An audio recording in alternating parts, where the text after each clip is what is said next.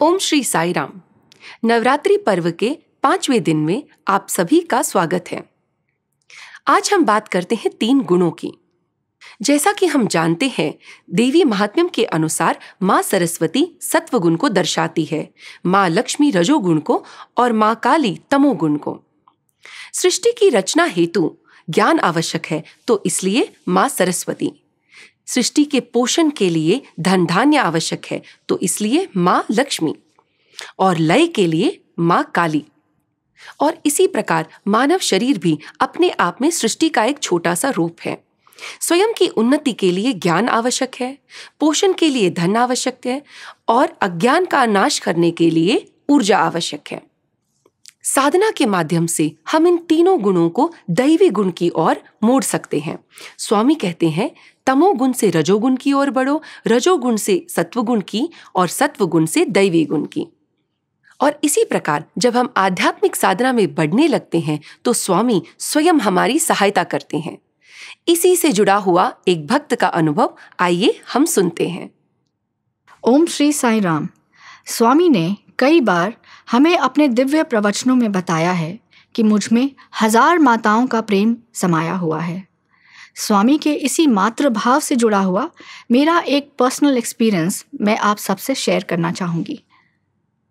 मेरी मदर को 40 साल की उम्र से ही एक गंभीर बीमारी थी, जिसका नाम अल्सराइटिव कोलाइटिस है। उसके करके मेरी मदर के पेट में बहुत दर्द बहुत दर्द रहा करता था। बीस साल के अंदर अंदर वो इतना ज़्यादा अल्सर उनका बढ़ गया कि उन्हें डॉक्टर्स ने 2008 के करीब डिटेक्ट किया कि उन्हें कोलन कैंसर की बीमारी हो गई है। उसके पहले ही कि हमें पता चलता कि हमारी मदर को कैंसर होने हो, हो चुका है उसके पहले ही मेरी एक फ्रेंड मुझे दिल्ली में बोलती हैं मैं तुम्हें अपने एक गुरु के पास लेके जाना चाहती हूँ। खैर ऐसा कुछ समा बना कि उसने बोला और मैं एक एक इंसान के घर में जाती हूँ और, जिनको वो भैया कहती थी, जैसे ही मैं उनके समक्ष बैठती हूँ, वो गीता का पाठ कर रहे थे। और जैसे ही मैं गीता का पाठ सुनने लगी, एक, शांति का अनुभव हुआ, एक सुकून का अनुभव मुझे हुआ, जो कि शायद मेरे बीस साल के अंदर महसूस नहीं हुआ था। उनके सामने बैठे और पहली बार मैंने 2008 के करीब मैंने सुना सत्य साईं बाबा का नाम। मेरा पहला प्रश्न था, ये सत्य साईं बाबा कौन है भैया? और उनका जवाब एक ही छोटा सा जवाब था। उन्होंने कहा, स्वामी भगवान हैं।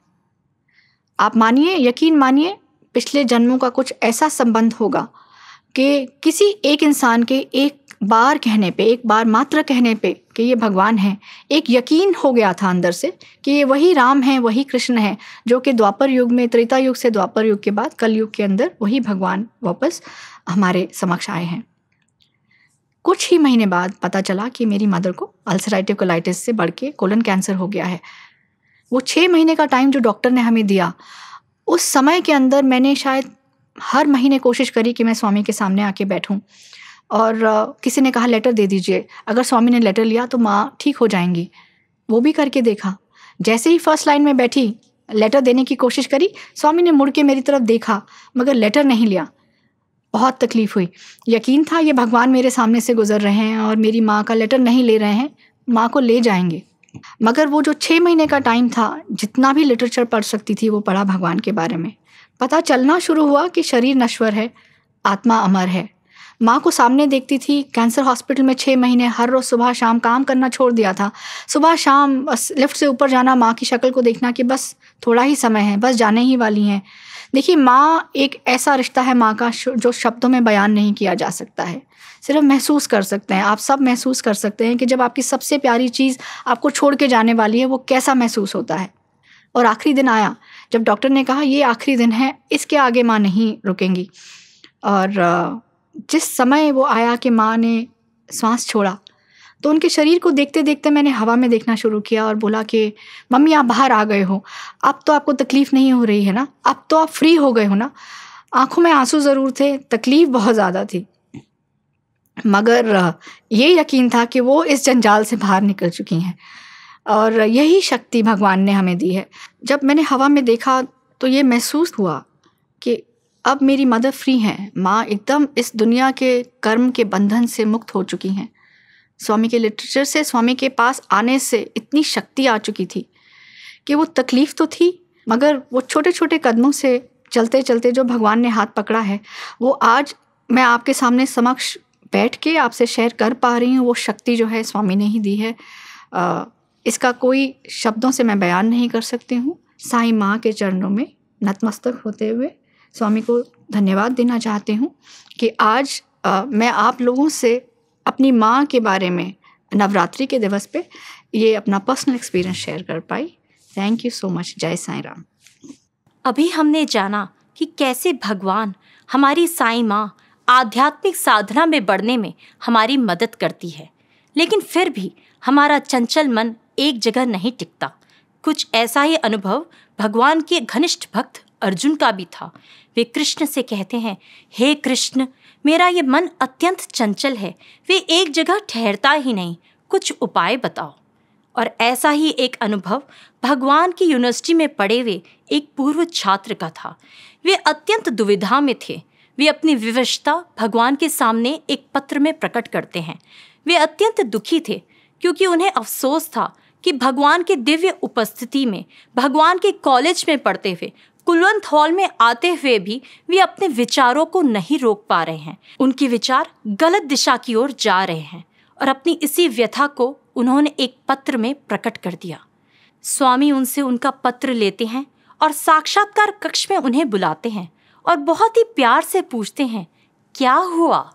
वे कहते हैं, स्वामी मैं समझ ही नहीं पा रहा हूँ कि आपकी डिवाइन प्रेजेंस में भी मेरे मन में ये गलत विचार क्यों आते हैं।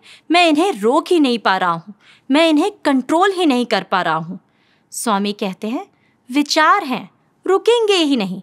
ये तो क्लाउड्स की तरह है। आते और जाते हैं। इन पर ध्यान मत दो। फिर ये भैया पूछते हैं, स्वामी, ऐसा कैसे होगा? स्वामी कहते हैं don't let your actions follow your thoughts और ये बड़े अचंभे में कहते हैं, स्वामी, ये भी कैसे संभव है कि हम अपने एक्शंस में अपने विचारों को फॉलो नहीं करें? स्वामी कहते हैं, बहुत सिंपल है।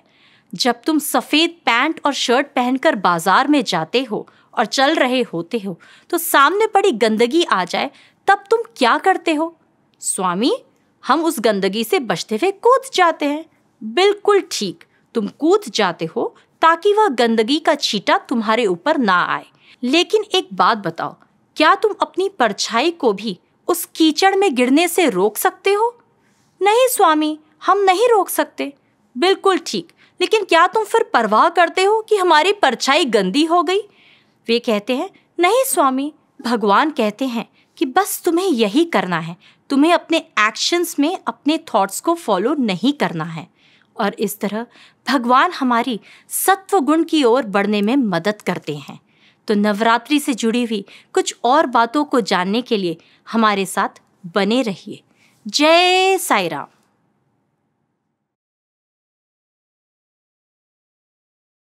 సమస్త పదార్థములు బ్రహ్మనే सभी पदार्थ ब्रह्म हैं సర్వస్వరూపం కూడాను బ్రహ్మనే सभी स्वरूप भी ब्रह्म हैं ఇలాంటి తత్వమే ఉపనిషత్తులు బోధించినటువంటి యొక్క సత్యతత్వములు यही वो सत्य तत्व है जो उपनिषदों ने बोध किया కనుక మనము నిజముగా మనలో దాగినటువంటి అగోచరంగా ఉండినటువంటి గుప్తమైనటువంటి ఈ చైతన్యమును మనం వ్యక్తము గావించుకోవాలి इसलिए हमें अपने अंदर मौजूद छिपी और अदृश्य चेतना को व्यक्त करना है ఇది ఏ రీతిగా మనం వ్యక్తం గావించుకోవాలి हमें इसे किस प्रकार व्यक्त करना चाहिए మనకు చలి సమయాల లోపల లోపల బనీని వేసుకుంటాం सर्दियों में हम अंदर बनियान पहनते हैं దానిపైన ఒక షర్టు వేసుకుంటాం उसके ऊपर शर्ट पहनते हैं దానిపైన దట్టమైన కోటును కప్పుకుంటాం और उसके ऊपर एक मोटा कोट पहनते हैं ఈ విధమైనటువంటి డ్రెస్సును నీవు ధరించి నా చెస్ట్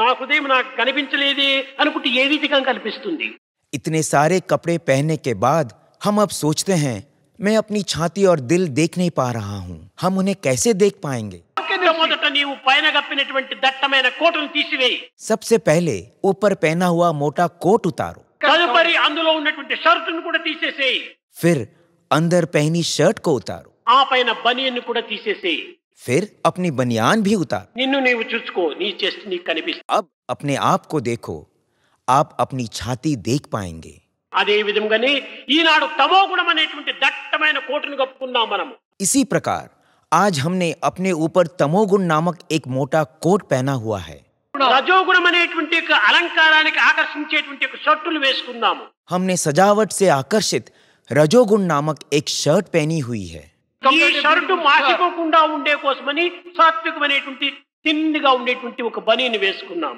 ताकि शर्ट मैली ना हो जाए हमने एक पतली सात्विक नामक बनियान पहनी हुई है।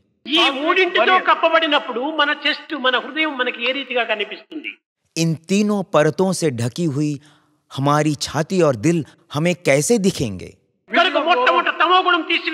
इसलिए सबसे पहले तमोगुण को हटा दो। रजोगुण उसके बाद रजोगुण को हटा दो। उसके बाद सात्विक गुण को भी हटा दो। అప్పుడే నీ ఆత్మతత్వం నీకు కనిపిస్తుంది ఇవి నీవు వేసుకున్నటువంటి డ్రెస్సులే तभी आपको आत्म तत्व का बोध होगा इन सभी कपड़ों को आपने खुद पहना है నీవు వేసుకున్నవి తీసివేయి అంతే ఇంక ఉన్నదానిని నీవు చేయనక్కర్లేదు जो पहना है उसे उतार दो तब आप उसे वैसे ही देखेंगे जैसे वह है అది ఉన్నది ఉన్నట్టుగానే కనిపిస్తుంది तभी आप आत्मा को उसके स्वरूप में अच्छे से समझ पाएंगे దానిని చూడడానికి కొత్త ప్రయత్నం చేయనక్కర్లేదు उसे देखने के लिए कोई नया प्रयास करने की जरूरत नहीं है కనుక నీ గుణముల యొక్క తత్వాన్ని నీవు పెంచుకున్నావు आपने अपने गुणों को बढ़ाया है పెంచుకున్న గుణములను చించివేయి इन गुणों को हटा दो ఉంచుకున్న హృదయాన్ని చక్కగా నీవు దర్శించు और अंदर स्थित हृदय का दर्शन करो దీనికి కూడాను ఒక విధమైనటువంటి దైవానుగ్రహం కావాలి इसे करने के लिए भगवान की कृपा चाहिए ఈ దైవానుగ్రహం పొందే నిమిత్తమే మనం సాధనలు చేయాలి इस ईश्वरीय कृपा को पाने के लिए हमें साधना करनी होगी